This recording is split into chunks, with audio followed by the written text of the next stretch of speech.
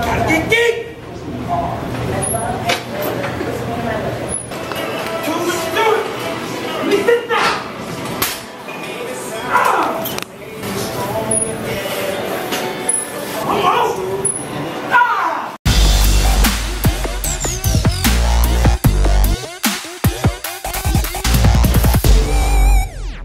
guys? This is Chase Irons of Chase Irons Fitness. It is the day after my second 10,000 calorie challenge, and I failed. I failed it yesterday. Um, I got to almost 9,000, but my stomach was just killing me after those cupcakes and ice cream, so I just couldn't do it. But that's okay. Let's see. Yesterday morning, I weighed in at 200.6. This morning I weighed 205.8. Didn't really gain much off that, interestingly enough. Last week when I did it, I started out weighing 203 and went up to 210 the next morning. So, but this morning I feel pretty good.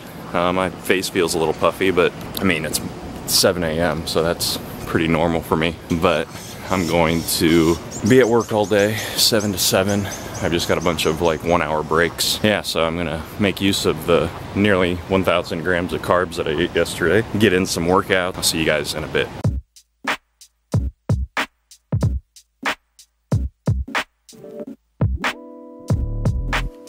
What is up, guys, and welcome back to another video commentary. Today I did a chest, shoulders, and arms routine. You guys know it, it's my favorite.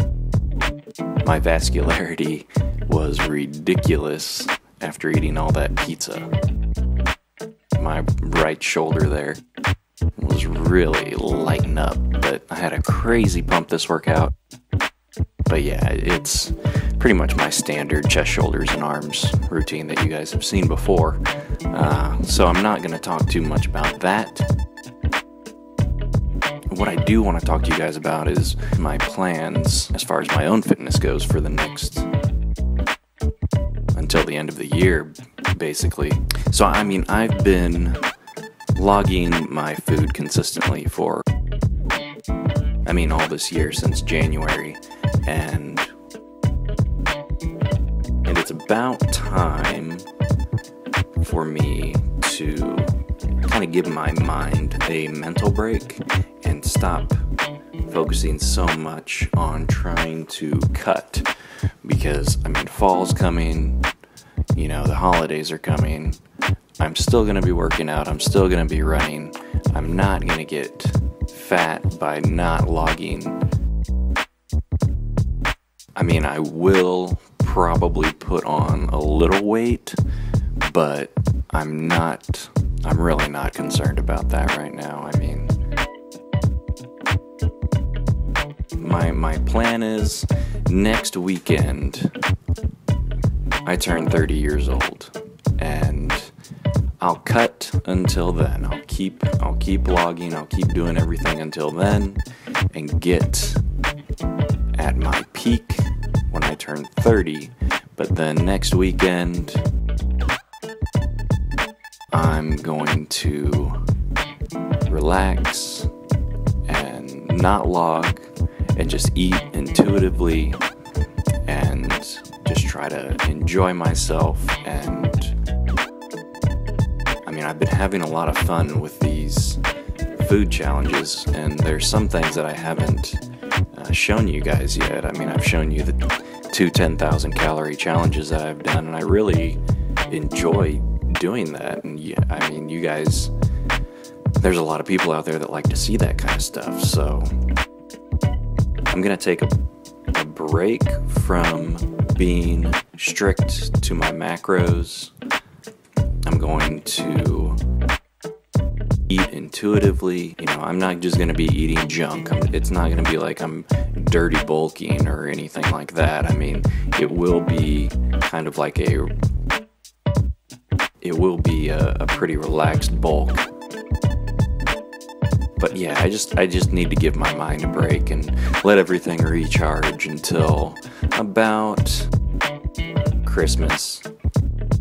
But yeah, during this time period of not really logging as strict as I have been, I plan on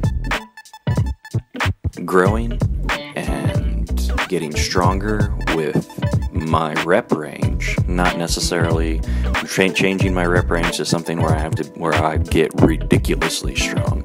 I want to be, you know, I my a, a goal for me would be to be able to squat 315 for five sets of 15 to 20 reps. I think that would be really impressive to me.